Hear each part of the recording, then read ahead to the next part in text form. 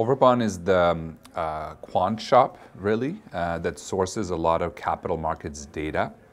Uh, we exclusively focus on fixed income uh, asset class, and uh, this particular asset class and the industry overall um, has a bit of a patchiness problem, unlike FX or equities.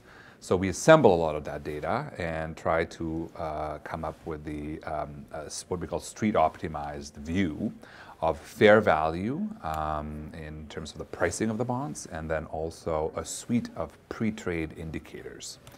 Classic use cases are uh, systematic uh, pricing that enables more trade flow or better portfolio rebalancing on the buy side.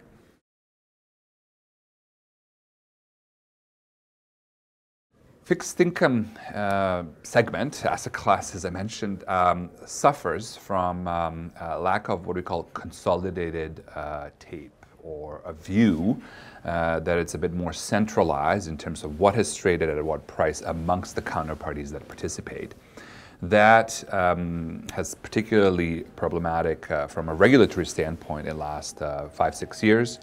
Uh, because there isn't this um, uh, all optimized view uh, in terms of the fair value pricing or best execution.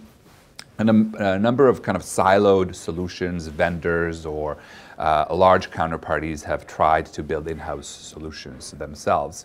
What we've identified as a strong trend is the automation and automation of the workflow and trade overall, but a necessary component to that is um, systematic pricing uh, or at least systematic signaling and some of the models that can enable that workflow. So that's where we uh, are positioned at, and I think that's one of the strongest trends in the industry in the next five years.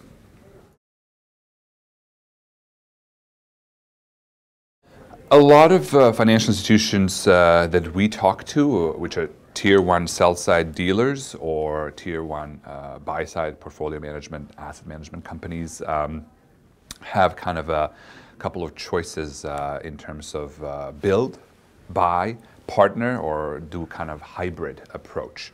Um, what we usually recommend, and we've seen a lot of traction uh, in that approach lately, is uh, to um, uh, engage with us to build a prototype. And we've created this sandbox environment where we can actually have structured data and uh, model components so that you can see the results, see it to believe it, um, and, and then deploy. And that greatly uh, reduces uh, time and cost in applying artificial intelligence modeling, which is novel and new to most financial institutions in this particular segment.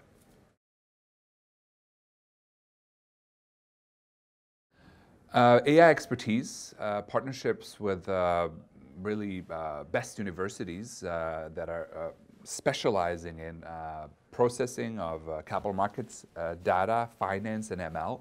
There are um, programs. We just launched um, an R&D lab in Montreal, partnership with three universities and Institute for Data Valorization. It's just one of the examples of how we harness the expertise of Canadian marketplace, both in Toronto, Montreal, and across the country, in order to deliver uh, the uh, R&D uh, at the global scale. Now, obviously, uh, the community of startups that I think are thriving in Toronto community are also placing product internationally. And Trip and Mission to UK is one of the examples of how we collaborate in that approach.